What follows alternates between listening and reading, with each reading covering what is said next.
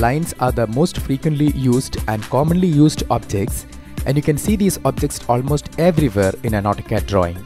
In this video, I'll deal with different methods to construct lines in AutoCAD. Before creating lines, I would like to deactivate all settings in the status bar toggles.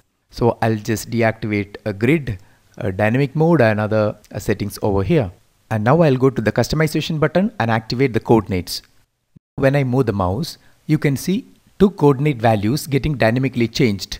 This is nothing but x and y coordinate of the cursor location. Now I'll click on the line command in the draw panel. Software is prompting for the first point.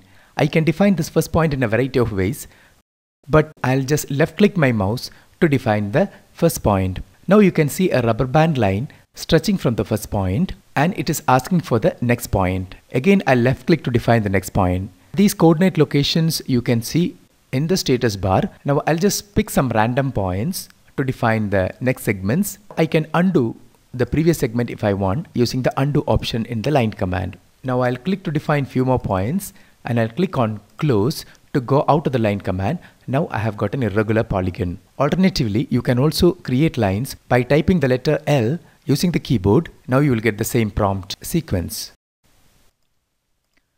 and I'll just give enter to go out of the line command. But you can be productive with lines only if you could uh, create uh, lines at uh, specific locations at predefined dimensions. By creating the simple figure of the outline of a house, you will learn the procedure to create lines at uh, specific locations, dimensions and angles.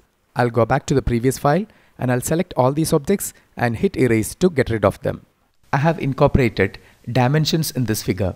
And when you look at the dimensions, you can see that the maximum dimension is 1200 and all the values are given in centimeters. So I'll go back to my file, click on application button, drawing utilities and I'll go to units command and I'll set my the linear measurement to decimal, decimal precision to uh, two places and I'll change the insertion scale to centimeters and I'll give OK. Now I should set my limits. So I'll give limits command at the lower left, I'll give 0, 0 because there is no negative values in this figure. Now I should set the upper right corner. Since the maximum dimension to be plotted is 1200, I should give upper right a value which is above 1200. So let's give it as 1500, 1500. Now I should give a zoom all to bring the limit to the screen. I'll give zoom and all. Next I'll go to line command when I'm asked to specify the start point, I'll give 0, 0 because I want the line to start exactly from the origin point. Such method of point entry is called absolute coordinate method in which you define a point precisely using its x and y coordinate. I'll just hold down the scroll button of the mouse and I'll simply drag it upward to pan the display. Now you can see that point clearly. Next I want to draw a line 1200 units rightward. For that I'll activate the ortho mode. In AutoCAD, when the ortho mode is on, the cursor moves only in the horizontal and in the vertical direction and its free movement is restricted. But once you turn it off, you can see that it can move freely. Now ortho mode can also be activated by pressing the F8 function key. Now I'll give the value 1200. Now AutoCAD has drawn a line in the direction of the cursor through the distance of 1200 units. Next I'll draw another vertical line in the upward direction through a distance of 300 units. So I'll keep my cursor in the upward direction. Since the ortho mode is on, it will move only in the vertical direction. Then I'll type the distance 300. Now this line has got a length of 300 units. Now I'll just give enter to go out of the line command. Next I'll activate this button in the status bar. It is called dynamic mode. Now I want to repeat the line command. So just right click and click on repeat line and you can start from this endpoint. When I take my cursor onto this endpoint, you will get a tooltip that it is an endpoint. That's because we have an OSNAP button in the status bar which is on. We will talk more about OSNAP in the coming videos and I'll just make a click. Now I'll disable the ortho and the cursor can move freely in all directions. But now you will see two values getting dynamically changed. The length of the line is getting updated and the inclination of this line segment with the horizontal or with the x-axis is getting updated.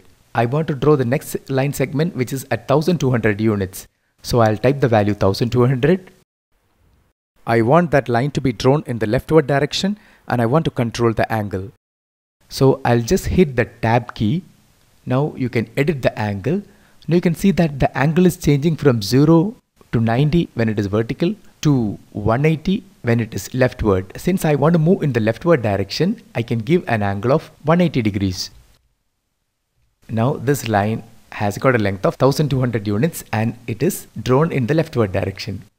The next segment has got a length of 300 units and it is drawn straight down so the angle is 90 degrees. Since the ortho is not on, along with the distance you should also specify the angle.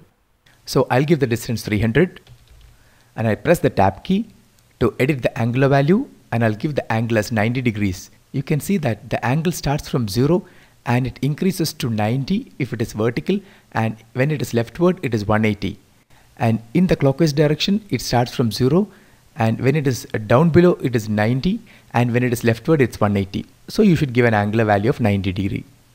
Next we should draw a vertical line at a distance of 350 units from this origin point so I'll right click and repeat line when I'm asked to give the first point I'll give 350 comma 0 I can give that value in absolute coordinates so I'll give 350. You can either give comma or you can press tab. Then I'll give 0. So I've started exactly from that point. It should be a vertical line. So I can turn on the ortho mode by pressing the F8 function key. Then I'll type 300. Now just give an enter to go out of the line command. So that line is made. Next we will create the outline of the door. And I should start from this particular endpoint and it is given that this point is at a distance of 125 units from the origin. So I can uh, start from that point, then I'll go straight up 210 units, then 100 units rightward and 200 units downward. So let's do that. I'll right click a repeat line. When I'm asked to give the first point, I'll give 125,0 in absolute coordinates. I have started from that point. You don't need a dynamic input for the time being, so I'll just disable it. I can straight away give the values. And the height is 210 and rightward I should move 100 units. And downward again 210 so I've completed it. Next I'll create the outline of this window. If I want to start from this point I should find out the coordinate of this point. And this point is at the same height as that of the door.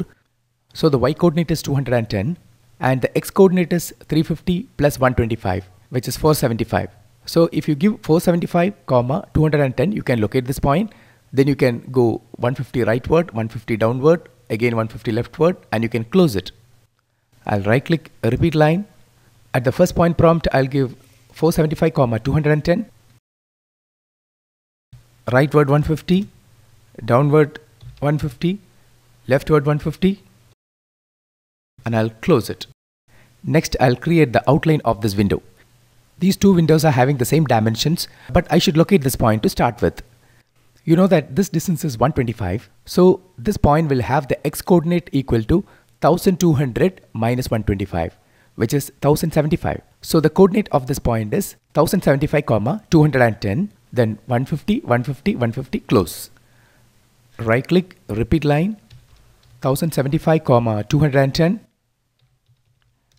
Started from that point, now 150 down, 150 leftward, 150 upward, and you can click on close to close it. Now you should make sure that your ortho mode is on. That is why it is easy for you to move in the horizontal as well as in the vertical directions. Next, I'll create the outline of this roof. For that, I'll start from this endpoint. To locate this point, you can either directly go and take this endpoint or else you can give coordinates to get it. You know that since the origin is here, the x coordinate of this point is 0 and the y coordinate is 300 which is this height. So I'll start from 0 comma 300 then I should draw an inclined line at 45 degrees with respect to horizontal in the counterclockwise direction this angle is taken. And the length of this line is 332.34 which is given here. It is also inclined at 45 degrees with respect to horizontal but in the clockwise direction. Once you reach here you can always close to complete this triangle before I draw lines I'll change the color for that, I can use Properties palette. You can access the Properties palette from the View menu. Just click on Properties to get it. Or else you can activate the palette from the Quick Access toolbar. Since the Properties is already active here and I can directly go and take Properties from here. Or else you have a shortcut which is Control 1. And this is a preferred method to get the Properties palette. And this palette will let you change the properties related with objects such as color, line type, line weight, etc. Uh, we'll talk more about properties in another video. Now I'll change my color to a different color. So I'll just click here to get uh, the color pop-up and I'll click on select color and I'll choose this particular color. This color has got a color number of 21. You can see it there. Just give OK and close the palette. I'll right click repeat line and I can directly go and take this endpoint since the OSNAP button is on here. I'll just make a click here, keep the cursor in the leftward direction and I can give the value 60. Now I'll activate the dynamic input and I'll give 332.34 as the distance, press tab and I'll give 45 degree as the angle. Now I've got the line drawn. I'll keep the cursor in this direction and I'll type 332.34 as the distance. I'll press tab and 45 degree as the angle and enter. So this line is drawn. Now I can just give a close to complete this triangle. Next I'll draw a line from this endpoint 60 in this direction and draw another line with 332.34 as a distance then I'll connect with this endpoint. So right click line I'll start from this point so I can turn off the dynamic input and I'll activate the ortho. I'll keep the cursor in this direction and type 60. It is moving in the horizontal and vertical directions so I must turn off the ortho mode. Now I want to draw an inclined line at 45 degrees. For that I'll activate another mode in AutoCAD status bar that is called polar tracking. Once you activate polar tracking, your cursor snaps at regular angular increments or the cursor stops temporarily at predefined angular increments. Where do you define these angular increments? Just click on the small arrow at the polar tracking button and you can see the predefined angular incremental settings. You have uh, 90, 180, 270, it is just like ortho and 45, 90, 135, 30, 60, 90, likewise you have various predefined increments. But if you want, you can set your own increments. We'll see that later. So this is my required increment 45, 90. So I'll keep the cursor at an angle of 45 degree. Now you can directly type the distance which is 332.34. Now I can connect with this endpoint. I should draw another line like this. For that you can just click on this line. You will get certain points. These points are called grip points or grips. You can take the cursor onto any of those grips and you just make a click to activate that grip. Now that grip is said to be a hot grip now you move the cursor and you connect it with this endpoint. Now I have stretched that line based on that grip point. Okay, we'll have a, another video on grips wherein we will cover this concept exclusively. So we have covered almost all methods to draw lines in AutoCAD. The fully dimensioned figure is given along with this video. Please download this figure and make a try.